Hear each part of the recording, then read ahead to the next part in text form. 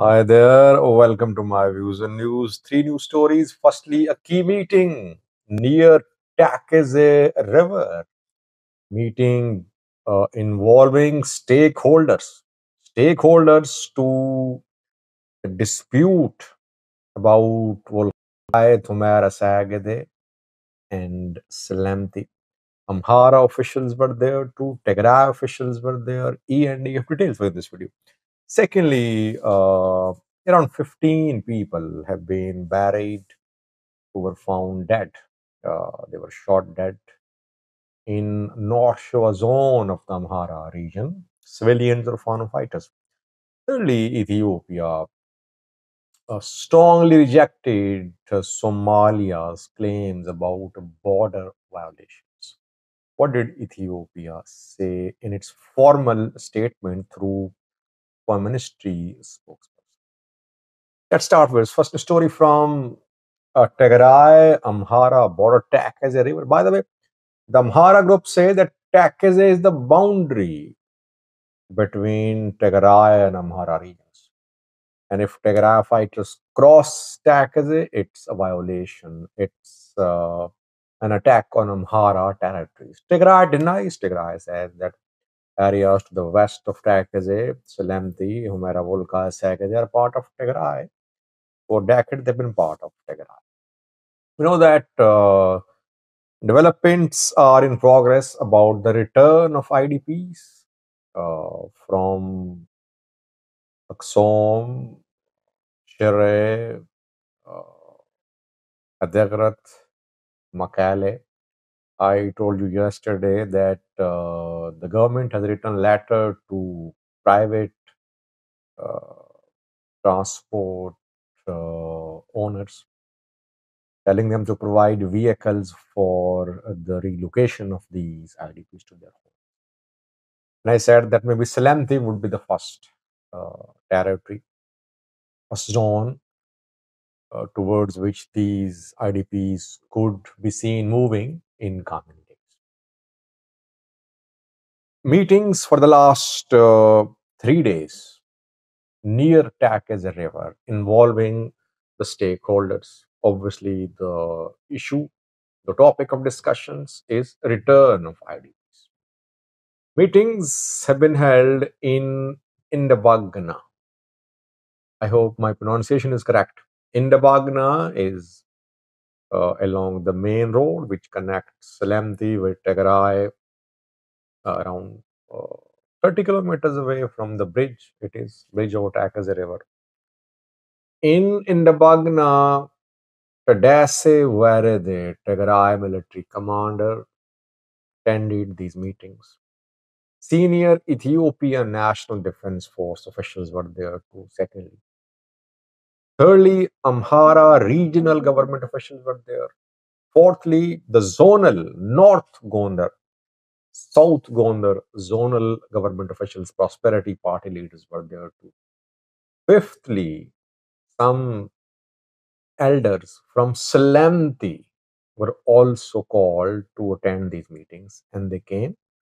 Uh, IDPs were also brought.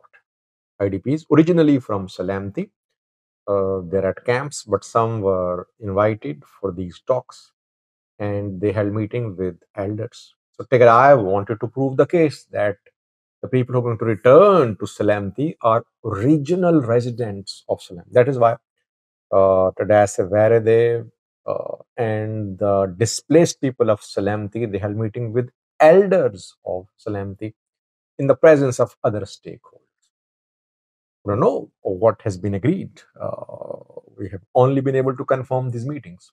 Tigray here going slow. Good to see that. Because obviously, if Tigray rushes, uh, it would have uh, consequences. Tigray going slow, trying to take Tselemti elders on board, ENDF on board, Amhara government, North Gondar government on board, but making it clear that its people will return to Tselemti but it wants the return to happen peacefully. It does not want any uh, violence. Let's see. We'll update you in coming videos. I think things happening fast. IDPs protesting. They protested in several cities of Tigray. Uh, this week, they protested in uh, Sudan too. Refugees there. They want to return to their country. Uh, they're mainly from Western Tigray, Western zone. Uh, but Tigray is trying to avoid an armed escalation because in Raya, we know that things still a little volatile. Tigray and ENDF, they're used force. They did not take the people on board before the entry of Tigray fighters. Though Tigray has managed to take large parts of Raya, but still there are issues. In Tselemti, Tigray going slow because it's it could be more challenging than less challenging than uh, Humera Volkai Sagade. Volkai, the flashpoint, which will uh, be topic of talks after Tselemti, I. Secondly, viewers, North Shewa zone of the Amhara region, where around 15 people have been killed this week, buried. Uh, their funeral ceremonies held at uh, local churches, being confirmed by local people. The people, uh, these uh, youths, they were mainly youths, they were killed in Tarmaber. Tarmaber is in North Shewa zone of Amhara region. Fano groups are operating close to Tarmaber, Debrecen as well, close to Debre Sina. According to locals, these youths were shot because they were suspected of uh, supporting Fano, of being part of Fano. Fano backed sources are claiming that these are civilians who were shot dead by government forces. It had nothing to do with Fano groups. That is what Fano groups say whenever their people die, their fighters die, die they don't acknowledge their losses. They always say that civilians are being killed, military is killing civilians. Uh, difficult to say, but security forces say that those who were killed in Tarmaber, they were members of armed groups, uh, Fano groups, and they've been involved in attacks on the military, on Prosperity Party members, on government officials. We've seen several assassinations in North Shewa Zone of the region since last year. Thirdly, viewers, Ethiopia strongly rejected Somalia's claims that Ethiopian military violated Somalia's territorial integrity and crossed illegally into Somalia. Last week, we saw that thousands of Ethiopian troops entered Somalia. Thousands are already operating in Somalia under bilateral arrangement with uh, bilateral arrangement between Ethiopian government and federal member states of Somalia and under ATMIS, African Union Transition Mission in Somalia. Thousands entered more last week in Hiran, Hirshabelle, and Dolo, Jubaland, uh, Gedo zone. Uh, they said they had received information about uh, Al Shabaab organizing on Ethiopia Somalia border. They held discussions, then they returned reportedly.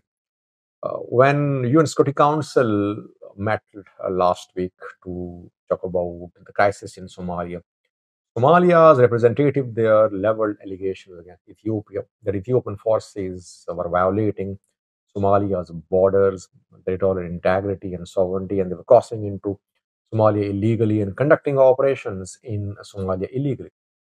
Ethiopian Foreign Ministry spokesperson formally responded to these allegations 24 hours. Ethiopia says that uh, its forces never illegally crossed into Somalia. The activity of Ethiopian military on border is a routine exercise. It was a joint military training. It wasn't any operation, and it has been happening for years. Uh, Somalia's uh, officials are igniting a conflict. Ethiopia is not violating Somalia's territorial. This is what Ethiopian official position. Uh, problem is that there is no Somalia's border security force. Open borders, porous borders, not porous but open borders. Ethiopia has large-scale deployment of its military on Somalia's border. Its forces can enter Somalia whenever they want to. Somalia will have to raise a strong military to protect its borders. Otherwise, anyone can violate its uh, borders, and Somalia won't be able to do anything. It will just issue statements. Uh, otherwise, it won't, be in, in a, it, it won't be in a position to stop these incursions. And in some cases, the Somalia's federal member states they support the entry of Ethiopian troops. They oppose the withdrawal of Ethiopian troops. Southwest State, Jubaland, in the statements uh, a few weeks ago, they rejected federal government of Somalia's position that all Ethiopian troops should leave uh, Somalia. Uh, they said no. Ethiopian troops have been very helpful. They have helped the regional uh, governments a lot against Al Shabaab. So uh, Somalia needs to do a lot to protect its borders. Thank you for watching.